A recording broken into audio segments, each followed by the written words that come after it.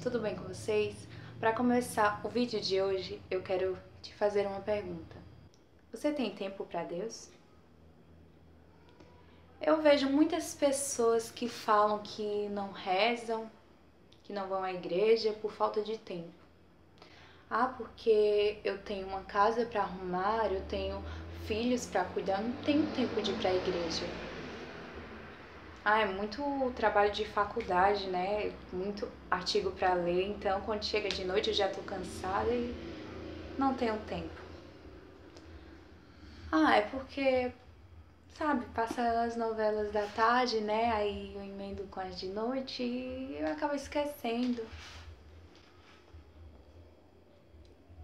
E você? Qual é a sua desculpa para não conversar com Deus? Qual é a sua desculpa para não ir para a igreja? Porque eu considero desculpa isso. Porque pensa comigo, o dia tem 24 horas. Se você tem tempo para tomar banho, se você tem tempo para comer, com certeza você tem tempo para orar. Ah, mas é porque eu mal como, né? Eu mal tomo banho, chego rápido em casa, me arrumo e já saio. Tudo meu, meu irmão, digamos que você seja uma pessoa que não tem tempo mesmo para nada, mas enquanto você está realizando o seu trabalho, você ora? Porque não me diga que você não tem tempo nem de pensar nas coisas de Deus, porque já é demais. Se você tem um dia cheio, um dia muito corrido, diz que não tem tempo mesmo, né? Eu desconfio disso, né? Mas se você diz, não, eu não tenho tempo mesmo, enquanto você estiver realizando o seu trabalho, enquanto você estiver estudando ou arrumando a casa, você pode orar em seu pensamento, você pode conversar com Deus. Eu estou percebendo que as pessoas hoje estão cheias de desculpas para não servir ao Senhor. Mas quando tem um bingo, ela vai, quando tem uma festa, ela vai, quando tem uma missa, ah, eu não posso, eu estou cansada. Nada além do que uma desculpa. Aí quando adoece, quem é a primeira pessoa que você corre atrás? É Deus.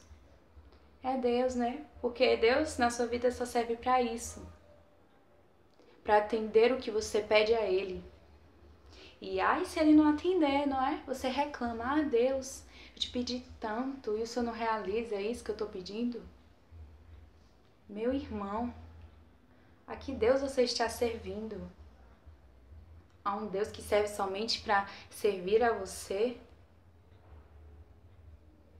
Deus, ele não é um gênio da lâmpada mágica que, que deve atender aos nossos pedidos quando a gente chega lá no momento que bem entende. Olha, eu vou querer isso, isso, isso e isso.